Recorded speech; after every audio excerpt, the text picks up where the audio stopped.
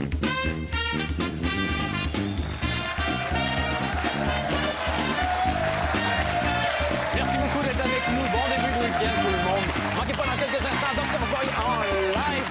Aussi yoga, minceur, beauté avec Estelle Lefébure. Et pour l'instant, on reçoit une autre artiste internationale qui a vendu des dizaines et des dizaines de millions d'albums au cours de sa déjà longue carrière, malgré son jeune âge. On peut aussi la voir dans Asia's Got Talent. Et puis elle est de retour dernièrement avec un tout nouvel album en français. Ça s'appelle Toujours un ailleurs. Elle est avec nous sur le plateau pour nous en parler. Mesdames, Messieurs, je vous demanderai d'accueillir Anne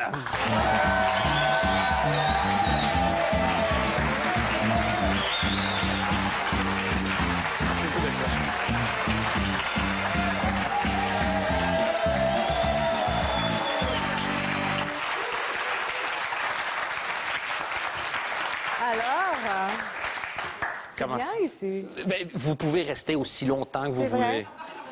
vrai? Mais tu sais que j'aime ce que vous faites depuis vraiment longtemps. hein. Ah bon? Et oui, je pensais que vous étiez une trop grosse star pour venir nous voir, donc je suis un peu impressionné. mais, mais je le suis. Non. Mais le pire, c'est que c'est vrai. Et C'est vrai que vous l'êtes. Asia's Got Talent, donc euh, l'émission dans laquelle vous êtes. Oui. Ça fait combien d'audience? Euh, en fait, en, en moyenne, on fait entre 500 et 800 millions de téléspectateurs. Je vais pas vous mentir, ce soir, on risque de faire un peu moins. Je suis déçue. Je voudrais pas vous... Je sais pas ce qu'on vous a dit pour vous faire venir ici, mais ça, c'est pas grand-chose, hein, mais bon, le Non, pays... mais là, c'est très, très international. Nous sommes en Belgique et votre accent vient d'ailleurs. Exactement. Si ça se trouve sur TV5, on est... euh, Ah oui, on est, euh, on est au premier. quoi. On est au-dessus. Au non, mais vous êtes ici parce que vous êtes euh, demain dans... Au Télévis. Au Télévis. Oui, Donc, euh, exactement. C'est gentil d'avoir euh, d'avoir fait un crochet euh, par ici pour Mais venir non, nous voir. ça fait plaisir. En fait, votre Chesterfield est très très haute. euh, ou alors c'est moi qui suis, qui suis assez Ouais, petite. parce qu'en fait, on me dit. Ah, d'accord. Si je me... voilà. Non, parce qu'en fait, mes, mes pieds ne touchent pas par terre. Euh, Donc, euh, faut qu'on trouve une solution. On va trouver une solution. Je... parce que paraît-il, euh, oui, parce que moi je suis pas très grande, Ouais. mais on me dit que le- le- la bonne longueur des pieds, c'est quand ça touche par terre. Ouais. Mais Et- et là, c'est difficile. Et avec les talons, ça passe? Même avec les talons. Sérieux? Alors que moi, avec mes talons, ça passe bien. Donc, c'est peut-être le... Ouais, moi aussi, je triche un, Un tout petit peu. tombe. J'ai un... Voilà, j'ai un petit... euh, Ah, bon, ça va, ça va. Par Ah, c'est- coquetterie, ouais. C'est très très intéressant votre choix de chaussettes. ouais. Oui, hein, ça...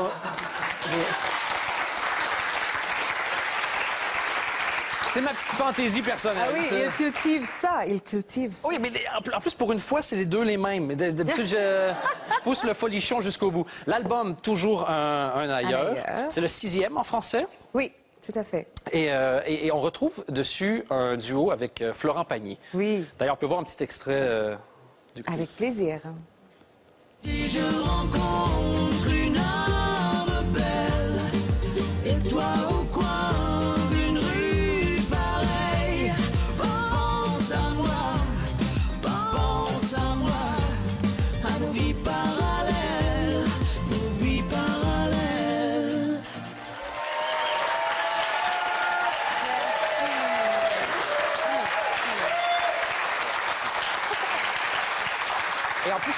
devait être particulier parce que Florent Pagny, c'est euh, un peu celui qui vous a aidé et qui vous a introduit auprès de plusieurs personnes quand vous êtes arrivé euh, en France. Ça devait faire plaisir de le retrouver pour un duo. C'est mon parrain, oui. Ah, carrément, Un peu, ouais. Oui, oui, en quelque sorte. Parce que, en fait, c'était la première artiste française que avec qui j'ai fait connaissance, mais d'une manière assez euh, incroyable, parce qu'un jour, euh, il avait besoin, enfin, il avait un problème d'électricité. Donc, il a... Voilà, vous étiez a- électricienne à l'époque et puis... euh, Non, non. C'est pas ça. Donc, en fait, il y avait un électricien qui lui avait dépanné. Et puis, donc, euh, euh, il lui a dit que si jamais un jour tu as besoin de quoi que ce soit, bah, appelle-moi. Et cet électricien, il s'est trouvé que c'était le voisin de l'oncle de mon ex-voisine. Minute. On va. C'est une histoire sans notes, ça va être compliqué. Oui. Le- Donc, Florent voisin, Pagny, Florent Pagny, voisin. électricien. Oui. L'électricien est le voisin de l'oncle de mon ex-voisine. Facile C'est- Tant qu'à ça, je suis relié à Tom Cruise, probablement, si on... Les, les six degrés de séparation. Et donc, ouais, et, et finalement, malgré tout ça, vous avez réussi à, le- à le joindre? Bah oui, parce que justement, après, donc l'électricien en question, le, le voisin de l'oncle de mon ex-voisine. Voilà. Appelons-le Alain pour. Ça, ça euh, on va l'appeler Alain maintenant. Alain. Et, euh, et donc, lui, il m'a présenté à Florent, qu'ensuite, donc, Florent m'a m'a mis sous son aile. Donc, j'ai pu voir comment il travaille, euh, euh, mais comment il donnait ses interviews, etc., de faire ses concerts. Et puis ensuite, après, il m'a présenté à son équipe qui était devenue la mienne. Et ensemble, nous avons fait un album euh, où il y avait donc mon premier tube qui s'appelle La neige au Sahara et la version anglaise de cet album était sortie dans plus de 33 pays. Et voilà. Mais, mais après, en fait, le problème, Excusez-moi, je vous interromps une demi-seconde parce qu'on peut l'entendre justement, la neige au Sahara, en Oui. français et en anglais, pour vous mettre un peu. euh, c'est vieux. Hein? On a mis les deux versions. On va switcher de l'anglais au français à l'anglais. Waouh! Il y a du. Il a dit non, mais il a dit on y a a du préparé. travail. Quand j'ai dit que j'étais impressionné de vous recevoir, j'ai dit à l'équipe on ne lésine sur aucun moyen. Je vois Oui, ça. là, le bouquet de fleurs ne rentrait pas dans la porte, Ah donc oui. euh, dehors, il va avoir un truc. Le mais budget est énorme. Oh oui, j'ai coupé la moitié de l'Amazonie, juste pour... euh, ça Le fait de faire en différentes langues, vous êtes jamais gouré euh, Si, en ça m'est déjà arrivé, oui, de, de- de commencer une chanson en français pour euh, continuer en anglais pour finir en indonésien. Donc c'est, euh, mais ça, ça fait rire mes musiciens. Le public n'a rien capté. c'est l'avantage aussi d'avoir un accent. Je le dis depuis toujours. Moi, la moitié des. Juste- J'ai toujours dit.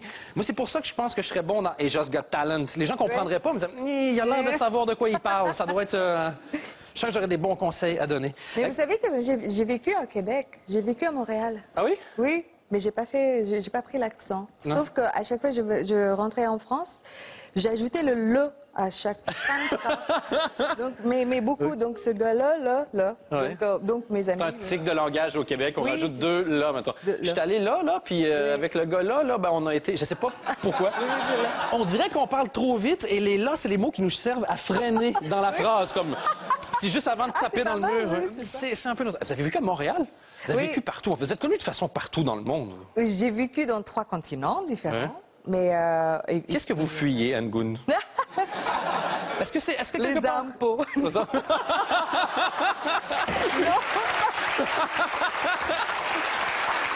La journée que vous déménagez à Bruxelles, on fait comme.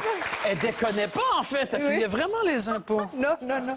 Non, non, non, mais parce qu'en fait, j'aime beaucoup l'état où, euh, où on arrive dans un pays, on comprend rien. Ouais. Où rien nous est familier, même pas. Enfin, les. les euh, moi, j'arrive d'Indonésie, donc lorsque je suis arrivée en, Fr- en, en Europe, en- à Londres, même le soleil, le chaleur, la, la chaleur du soleil était, était bizarre. C'est pas comme ça, quoi, chez nous. Ah ouais. Donc ça, ça j'adore ça.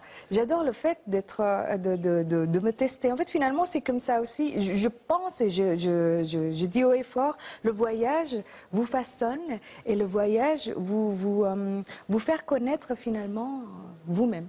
Ben, je suis assez d'accord avec vous, moi-même, étant quelqu'un qui n'est pas dans sa terre natale aujourd'hui. Et c'est peut-être pour ça, j'imagine, que l'album s'appelle Toujours un ailleurs. Oui.